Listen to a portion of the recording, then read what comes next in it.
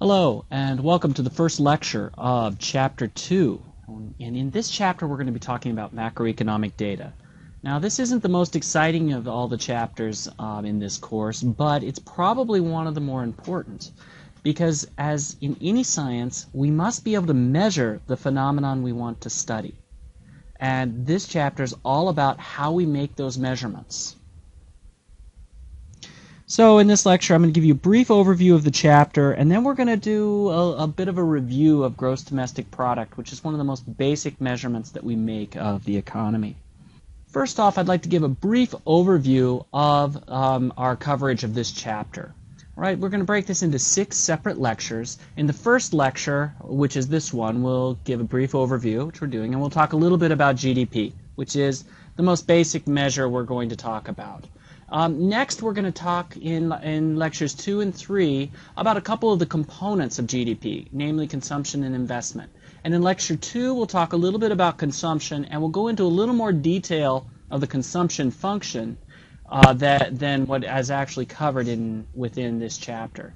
Then in lecture three, we'll talk about investment, and we'll go into a little more detail about the investment function than what's in the chapter.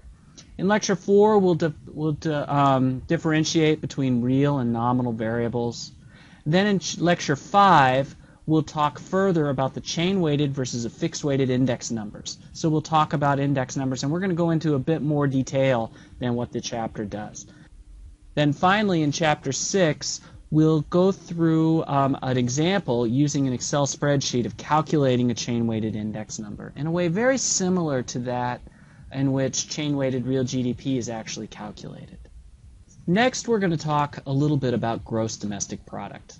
Now, what gross domestic product is, as you will remember from principles of macroeconomics, it's the market value of all final goods and services produced within an economy during a given period.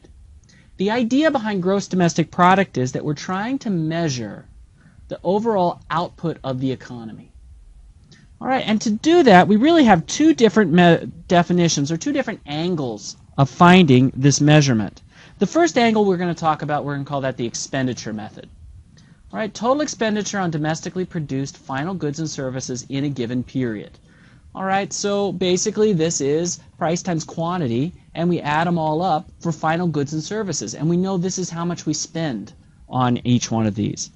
The next one is total income method, all right, or the total income earned by domestically located factors of production in a given period. Now, these two definitions turn out to be equivalent, all right? They'll give us the same number. At least in theory, they'll give us the same number. And the reason for that is if I spend a dollar, I spend one dollar, what does that mean? That means somebody else out there had to receive that dollar. So for every dollar I spend, there's someone else who that dollar becomes their income. So expenditure has to equal on total income. All right, so total expenditure will equal total income. All right, so let's let's break this down. We'll look at the expenditure components. All right, we have consumers, so households have spending, and so we call that consumption. We have businesses have spending, we call that investment. Now, here's an important point. I know we, this was covered in principles of macroeconomics, but we need to remember this here too. Investment is not the same thing as what most people mean when they say investment. When an economist says investment, what they mean is this businesses buying stuff they use to make other stuff. All right, so I'm currently recording this lecture on a computer. Um, I'm using a iPad and my computer to make this presentation. Both of those things are things I have bought in order to produce this lecture. So they could be in a sense called investment.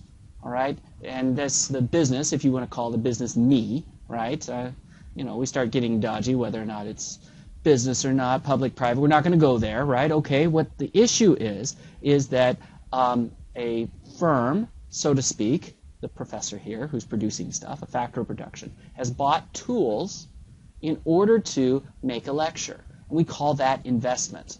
We do not call investment, um, for example, buying shares of stock in a company. That's not what we're talking about here. That's kind of the vernacular use of the word investment, but we don't use it that way in economics.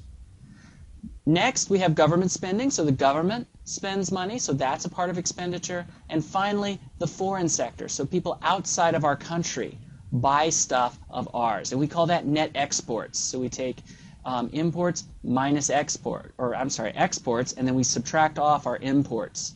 And the reason why we subtract off imports is because that would lead to double counting if we didn't. Again, um, that would have been covered in principles of macroeconomics. So we have this overall very important identity. On one hand, total expenditure. Okay? This is expenditure.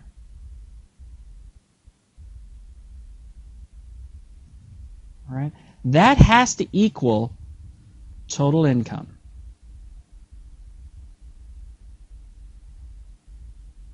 So this is something that's important to note.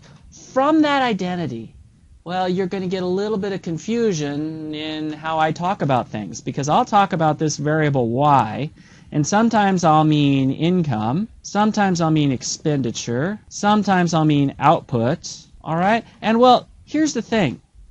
These guys, by national income accounting identity, are all equal to one another. All right? And there's a few reasons why, and we can go into this. And if you read the textbook, there's, there's a little more information in there about, well, what if I um, produce something this year but don't sell it till next year? How does income equal expenditure? How does that equal total output? Well, we have some tricks that we do to take care of that. But overall, um, we're going to basically assume this income accounting identity for the rest of the class. And that concludes lecture one of chapter two.